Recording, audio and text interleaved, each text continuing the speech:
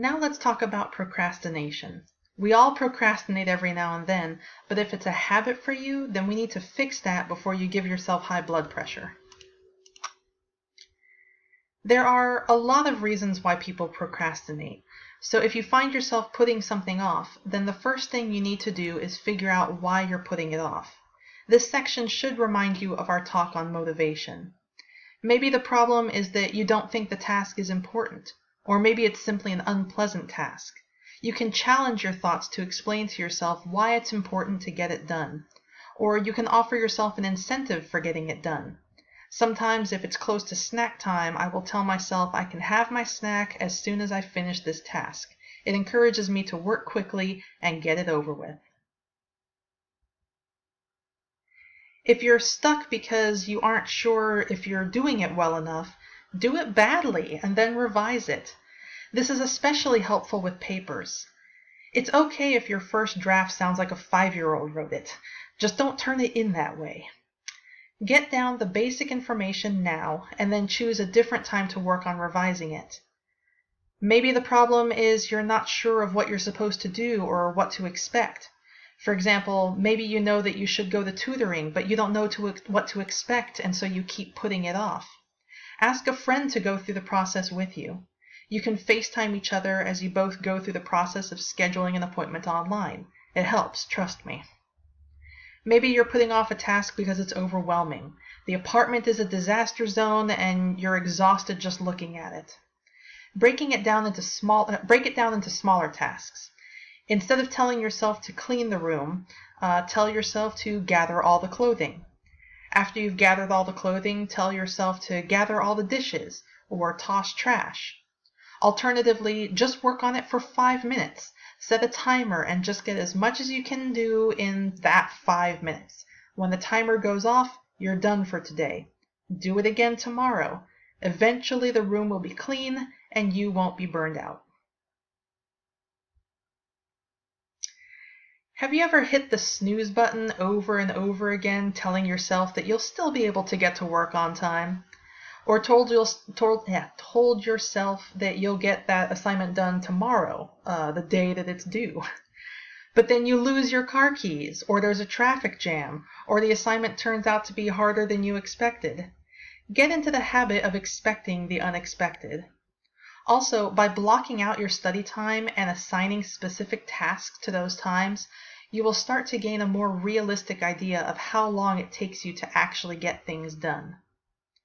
Finally, sometimes we procrastinate doing something because someone wants to chat and we have trouble saying no. Get into the habit of disappearing during your study times. Shut off your phone and go somewhere where you won't be disturbed. When the library opens, that's a good spot to work. Depending on your housing situation, you can find a bench somewhere quiet to work, or lock yourself in the bathroom, or get in the car and go park outside someplace with Wi Fi.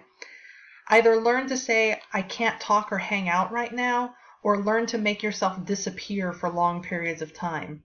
You don't owe anyone an explanation for why you didn't reply to their text. You were busy. End of story. General time management strategies. Make a calendar and carry it with you. Why? So you don't double book yourself and so you don't forget to write it down. Set regular study periods. Why? Humans are creatures of habit. This increases the likelihood that you will study some time each day. It also maximizes your time flexibility and reduces stress.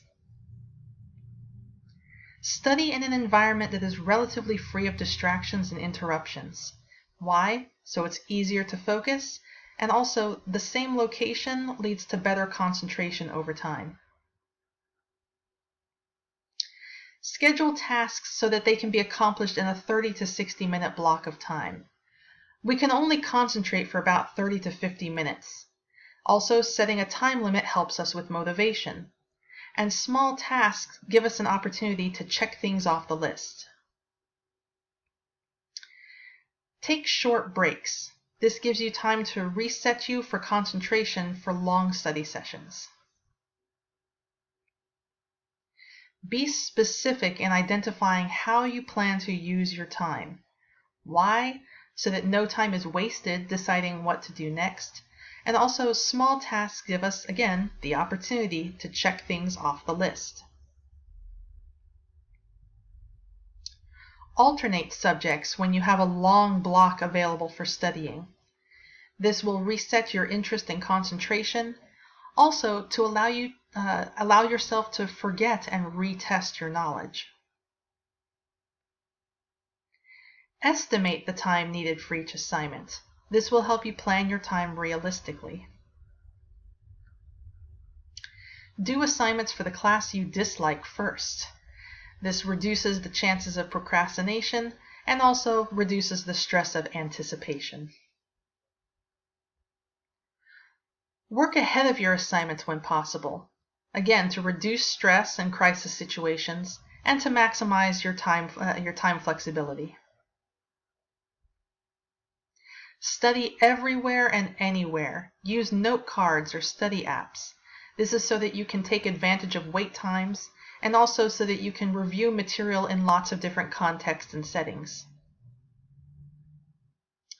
Learn how to say no. Uh, first, so you can focus on your big rocks and also to avoid burnout. Uh, here's a link for some ideas on ways to say no.